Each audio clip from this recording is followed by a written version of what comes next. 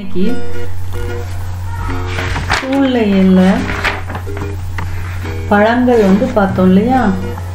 இதெல்லாம் இந்த பழங்கள் இது பயிற்சி மட்டும் பார்ப்போம். பழங்களை அதன் பெயருடன் பொருத்துவோம். இது என்ன பழம்?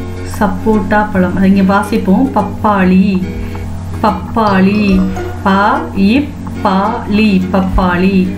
மா இம் ப ழ இம் மாம்பழம் சா இப் போ இட்டா சப்போட்டா ஆ இன்னாச்சி அண்ணாச்சி அப்போ இது இங்கே இது என்ன பழம் அப்படின்னா சப்போட்டா. சப்போட்டாக்கு நேராக ஒரு கோடு போட்டுக்கணும்.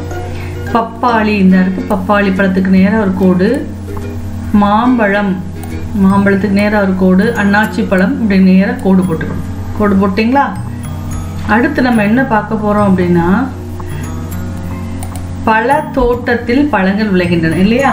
அது எப்படி நமக்கு கிடைக்கிது அப்படின்னு சொல்லி நம்ம வரிசைப்படுத்த போகிறோம் இப்போ வரிசைப்படுத்தினா ஃபஸ்ட்டு இதுங்க பாருங்கள் என்ன செய் என்ன செய்கிறாங்க அப்படின்னா பழங்கள் வந்து விற்கிறாங்க அடுத்து கூடையில் போடுறாங்க. அடுத்து வந்து வண்டியில் ஏற்றி இது பண்ணுறாங்க காய்கறி மார்க்கெட்டுக்கு வருது. மார்க்கெட்டுக்கு வந்த பிறகு என்ன ஆகுது? இங்கே என்ன பண்ணுறாங்க அப்படின்னா லாரியில் ஏற்றுறாங்க விவசாய அந்த எடை எடை போடுறாங்க. இங்கே வந்து இறங்குது. கா கடையில் வந்து இறங்குது இவர் தட்டுறாரு. அதாவது மரத்துலேருந்து பழங்களை பறிக்கிறார். அப்போ இதில் வந்து வரிசைப்படுத்த போகிறோம் சரியா? அப்போ என்னதுன்னா ஃபஸ்ட்டு வந்து ம ம மரத்துல இருந்து தான் என்ன செய்கிறாங்க அப்படின்னா என்ன ஒன்றுன்னு போடணும். சரியா? அடுத்து ரெண்டாவது என்ன அப்படின்னா அது கூடையில் போடுவோம் இல்லையா? அதுதான் இரண்டு. இது ஒன்றுன்னு போட்டுக்கோங்க. அடுத்து கூடையில் போடுறோம். கூடையில் போடுறது இரண்டுன்னு போட்டுக்கோங்க. இது இரண்டு. போட்டாச்சா? கூடையில் போட்டோன்னே என்ன ஆகும் எல்லாத்தையும் கூடையில் போட்டு இங்கே கூடையில் கொண்டு வந்து என்ன என்ன செய்கிறோம் இங்கே கொண்டு வந்து விற்கிறோம் அது அப்போ இது மூன்றுன்னு போட்டுக்கோங்க. இது மூன்று. சரியா? மூன்று. அடுத்து வந்து அடுத்து இந்த இருக்கு இது கூ- இங்க எல்லாம் என்ன செய்கிறாங்க லாரியில் அள்ளி போடுறாங்க. அப்போ இது நான்கு.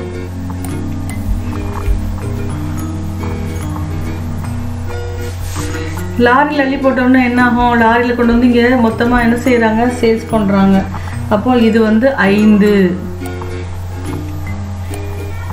ஐந்து போட்டுக்கோங்க. அடுத்து லாரியில் அள்ளி போட்டோன்னே லாரியிலேருந்து எங்கே போகுது எல்லாமே? மொத்தமாக மூட்டையை கட்டி வெளியில் போகும் இல்லையா? அதனால் இது ஆறு. அடுத்து லாரியிலேருந்து என்ன இதெல்லாம் எழுதிக்கோங்க. அடுத்து நம்ம பார்க்கலாம். லாரியிலேருந்து என்ன ஆகும் அப்படின்னா லாரியில் கொண்டு வந்து என்ன செய்கிறாங்க கடையில் விற்கிறாங்க இல்லையா? அப்போ இது ஏழு. அடுத்து என்ன அப்படின்னா கடையிலேருந்து கடையிலேருந்து போட்டாங்க. அப்போ நம்ம கடையில் என்ன செய்வோம்? கடையில் போய் வாங்குவோம் இல்லையா?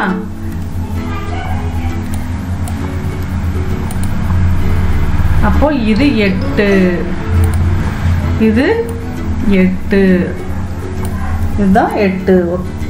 எழுதிட்டீங்களா சரி அடுத்தது. அப்போ இதில் பார்க்குங்க இல்லையா? இப்படத்தில் நீங்கள் அறிவது என்ன அப்படின்னா நம்ம என்ன செய்யணும்? எந்த பழங்கள் வந்து வாங்கினாலும் முதல்ல அதை கழுவி தான் என்ன செய்யணும்? சாப்பிடணும். சாப்பிடுறதுக்கு முன்னாடி பழங்களானாலும் காய்கறினாலும் சரி நம்ம என்ன செய்யணும்? கழுவி தான் சாப்பிடணும். இப்போ நம்ம மதிப்பீட்டுக்கு வர்றோம்.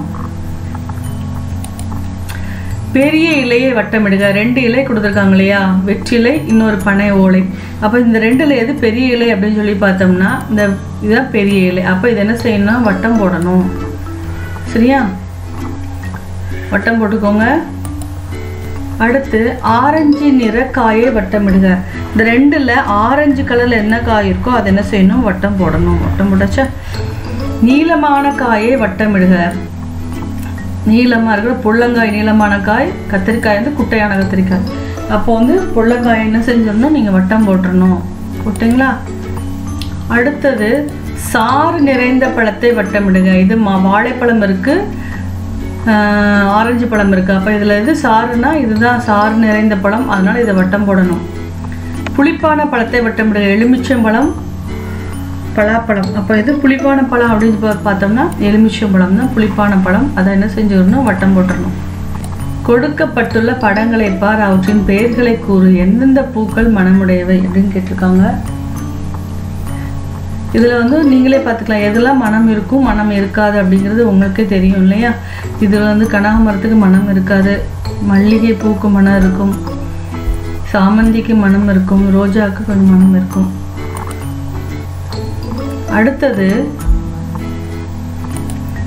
படங்களை படங்களை அதன் சரியான இணையுடன் கோடிடுக. இப்போ வெண்டைக்காய் வச்சுன்னா வெண்டைக்காய் அச்சு மா மாவிளை தோரணம் ஜூஸு இது கோடு போட்டுக்கிட்டீங்களா? அடுத்தது போவோம். அவ்வளோதான் இருக்குது. அவ்வளோதான் மூணு தான் கொடுத்துருக்காங்க. அப்போ மறுபடியும் வரோம் பார்க்குறோம். வெண்டைக்காய் அச்சு மாவிளை தோரணம். அடுத்து என்ன அப்படின்னா மாதுள் மாம் மா ஆப்பிள் ஜூஸு.